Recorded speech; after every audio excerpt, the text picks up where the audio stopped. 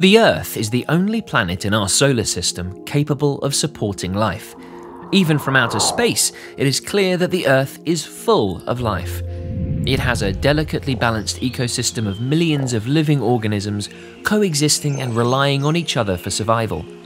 But what if all these different organisms were actually just parts of one superorganism, the Earth? You curious? Discover more. Know more.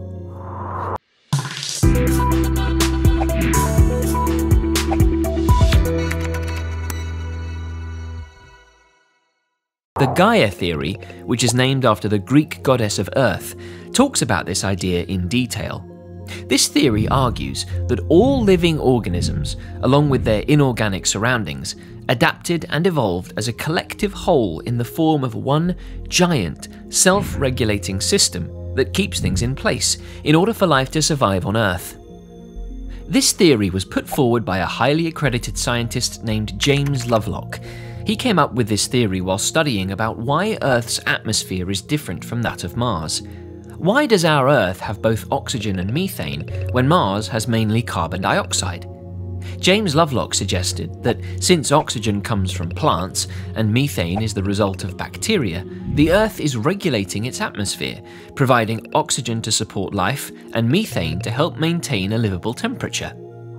Over the years, he came across more examples of the Earth trying to keep itself alive, and his theory started to attract prominent supporters, such as former US Vice President Al Gore.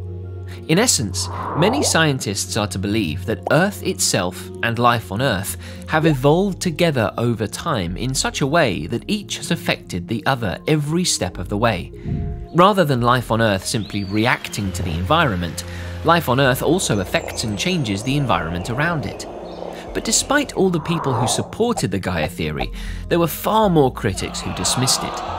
Critics of the Gaia theory argue that the entire theory violates the scientific method, since it only provides ideas but offers no real explanation of exactly how organisms could act together to maintain a balance of life on Earth.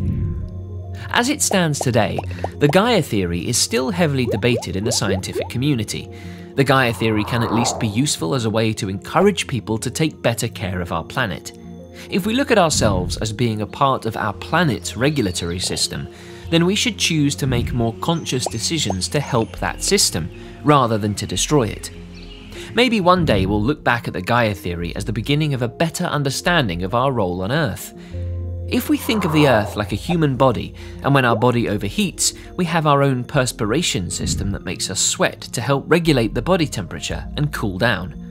When Earth starts to overheat, it regulates its atmosphere and controls its temperature using its own system of plant and animal life. But now our planet is heating up at a pace that is beyond its abilities to keep fixing itself, and that is majorly because of us. So, are we a part of Earth's regulatory system, or are we a disease that is slowly disrupting its delicately balanced system? What do you think? Let us know what you think of the Gaia theory in the comments below. Until next time, subscribe to our channel and hit the bell icon for notifications of our new videos.